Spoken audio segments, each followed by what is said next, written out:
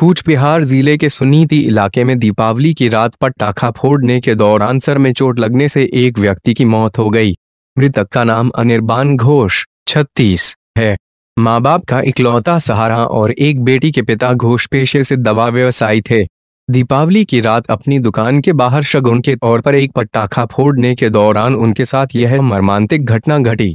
सूत्रों के अनुसार दीपावली की शाम अपनी दवा दुकान में कर्मचारियों के साथ लक्ष्मी पूजन करने के बाद वे दुकान के बाहर एक तुबड़ी जला रहे थे। प्रत्यक्षदर्शियों के अनुसार तुबड़ी को जलाने के बाद वहाँ से दूर जा ही रहा था कि उससे पहले ही तुबड़ी फट गया। तुबड़ी के इतने समीप फटने की वजह से मृतक घटनास्थल पर ही अचेत होकर गिर पड़ा। उनके कर्मचारियों ने तत्परता के साथ उन्हें नजदीकी अस्पताल में भर्ती कराया। अस्पताल में डॉक्टरों ने बताया कि मृतक के सर पर चोट लगने की वजह से वे बेहोश हो गए थे। अस्पताल में उन्हें प्राथमिक उपचार दिए जाने के बाद छोड़ दिया। अस्पताल से छुट्टी मिलते ही अनिर्बान के सहकर्मी उन्हें फिर से दुकान ले गए और उनके परिजनों को घटना की जानकारी दी।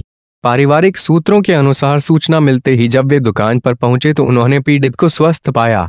वे थोड़े डरे हुए ज़रूर थे। अस्पताल से लौटने के तीन घंटे बाद वे अचानक फिर से बेहोश हो गए। उनके परिजनों ने उन्हें नजदीकी निजी अस्पताल में भर्ती कराया, जहाँ डॉक्टरों ने उन्हें मृत घोषित कर दिया। डॉक्टरों के अनुसार अनिर्बान की मौत दिल का दौरा पड़ने से हुई है। उनके अनुसार बेहोशी के दौरान उन्हें दौरा पड़ा था। उसी के कारण उनकी मौत हुई है। गौरतलब है कि घटना के बाद स्थानीय पुलिस ने मृतक के शव को बरामद कर पोस्टमार्टम के लिए भेज दिया है। मौत का सही कारण पता करने के लिए पुलिस व परिवार दोनों ही पोस्टमार्टम रिपोर्ट आने का इंतज़ार कर रहे हैं। गौरतलब है कि एक और दीपावली के मौके पर जहाँ हर घर में दियों से रोशनी फैलाई जा रही थी, वहीं घोष परिवार में रोशनी फैलाने वाला चिराग हमेशा के लिए बुझ गया।